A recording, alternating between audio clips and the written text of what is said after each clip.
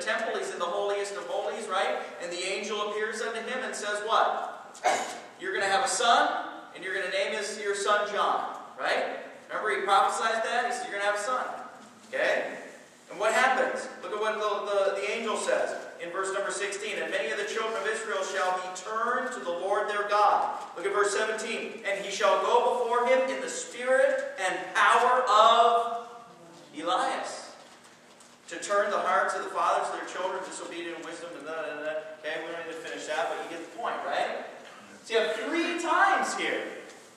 John the Baptist is clearly coinciding with Elias, Elias or Elijah. Okay? Now what's cool about that? Huh? So then the Feast of Unleavened Bread begins on the 15th day of the first month Nisan. And this is a likely date for the birth of John the Baptist, the expected Elijah. Why? Remember at this time, Jesus would have been three months along in the womb of Mary at the time John the Baptist was born. Okay, now think about this. You, those of you who have sat through our Passover Seder meal, right? You know that Elias has a significant role in the Passover. Why? Can anybody remember? I'll give you one clue. The empty seat and the empty cup. The empty seat and the empty cup are for who? Ronald McDonald? No, they're for Elijah. And what do they say at the end of every Passover meal? Remember the, the kid runs to the door and opens the door and welcomes who? Okay, welcomes Elijah. And says, Elijah, if you're here, come in, we welcome you. Okay, they're waiting for Elijah to come. Right? He did come. Why? Because he was born. He was born within a week, at least a week of Passover. Now I'm saying, if he's born within a week of Passover, sometime within that time frame, don't you think that it's probably likely, uh, likely that he was born on Passover? Since he plays such a significant role in the Passover Seder? Of course. Okay, I don't think that's far-fetched to bring it around to that. Now look at this. We need only move six months farther down the Jewish calendar to arrive at a likely date for the birth of Jesus Christ, right?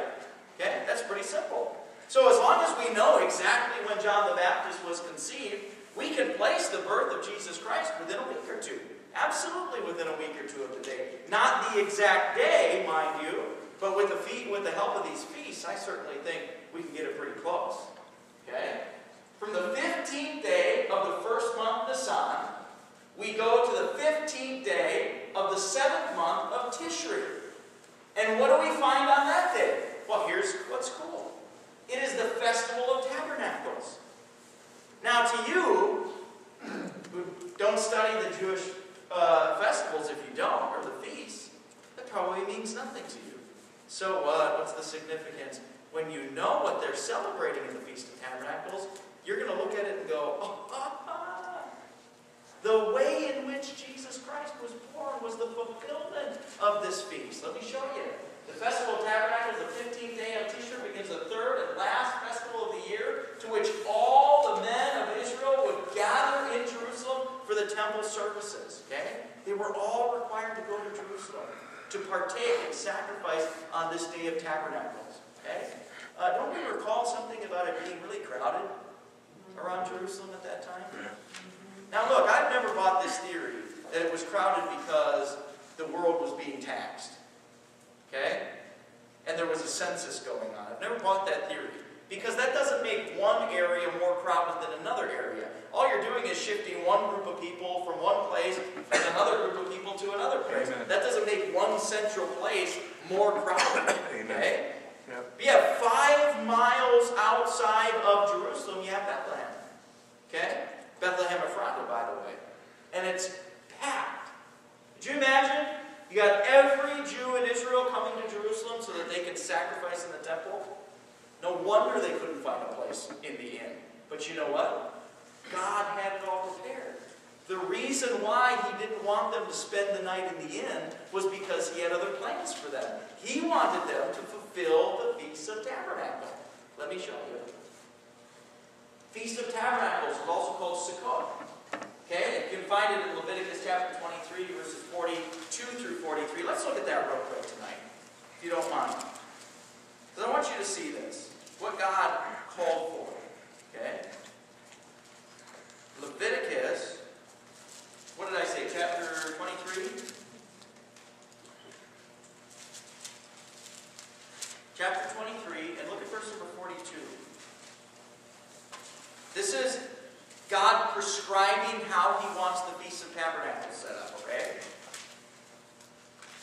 He says in verse number 41, And ye shall keep it a feast unto the Lord seven days of the year. It shall be a statute forever in your generations. Ye shall celebrate it in the seventh month. Have you ever wondered why Jesus Christ said that He fulfilled the law? Man, He fulfilled the law. Amen. Even the feasts. Amen. Right? Look at what it says. He shall dwell in booths. Seven days. All that are Israelites born shall dwell in booths. That your generations may know that I made the children of Israel to dwell in booths. When I brought them out of the land of Egypt, I am the Lord your God. And Moses declared unto the children of Israel the feasts of the Lord. What's the Feast of Tabernacles? It was just that. They were supposed to take this time and they were supposed to spend it in like huts or booths or tabernacles or temporary dwelling places. Why? Does anybody remember this? This all has to do with them coming out of Egypt. Remember they were supposed to leave in a hurry? Yeah. And they didn't have a temple built, they had a tabernacle to worship the Lord. Why? Because they had to stay mobile. They had to stay on the run. Remember he says you're going to leave with the staffs in your hand. Don't even sit down on a pillow or anything. Get ready to go. Get ready to move at any time, okay? God says, I want you to remember me bringing you out of Egypt and the hurry in which I brought you out of and your time in the wilderness. I want you to remember that by the Feast of Tabernacles. So that means every year during the Feast of Tabernacles, you're going to build some kind of temporary housing or something like that, and you're going to stay in that. Okay? Remember when they were remodeling the temple? And they found the word of the Lord? Do you remember that? Yes. And what did they say? They said, We have not done these things. And they talked specifically about the Feast of Tabernacles. Okay, we haven't done these things since Joshua in calling us to do the booths. Okay? So they built these booths and they stayed in these huts and these temporary dwelling places. Okay? Because God wanted them to. Now it's clear that at this time the Jews were not doing this and practicing this by and large. There might have been some very Orthodox Jews doing this at the time, but by and large, even in Jesus' day, this was not something that they were practicing. Okay? This wasn't even necessarily something that Mary and Joseph were intending on practicing or doing. Okay? But you know what? God doesn't set his standard by men.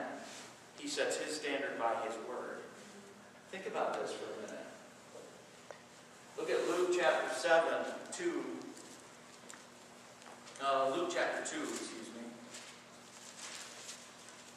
And look at verse number 7, okay? And she brought forth her firstborn son, and wrapped him in swaddling clothes, and laid him in a manger, because there was no room for them in the inn. You know the story, goes on and on?